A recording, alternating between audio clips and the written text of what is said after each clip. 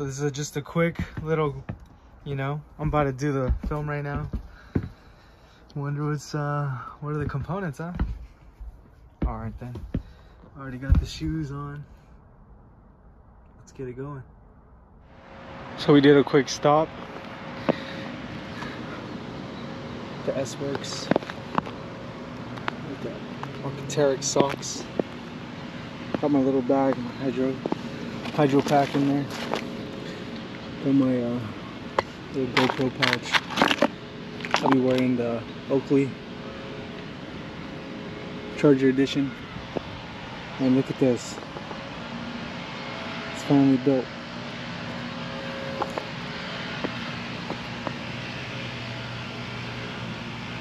Put a little P decal because my name is Pablo. These are the built wheels. You already know where. Wheel builder.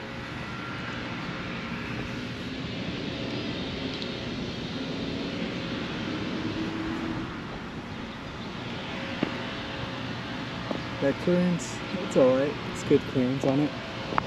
I already know. Five gold tube. We got these uh, look pedals.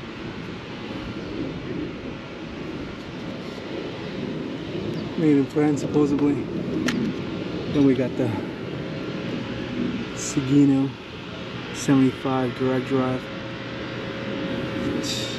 50 50 teeth. We got the NJS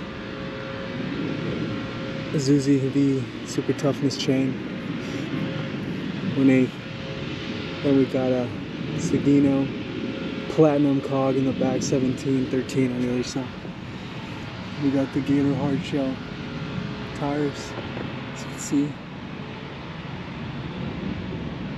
Nothing's drilled. We got a Cinelli post with the Brooks saddle. And then I got the little Brooks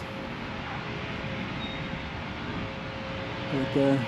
All my tire stuff is in there. Pretty much uh, really like the build. And then we got the CeramicSpeed 70 millimeter ceramic coated something something you know the stuff they say. It's, it's that uh it's just a coated one. And yeah you know tell me what you guys think. It took a it took a lot of time to build. A lot of time to look for the parts you know we got the end caps right there as well. Then I got I've already had these lights as you can tell they're all beat up from my old bike. It comes as a set back one and the back one.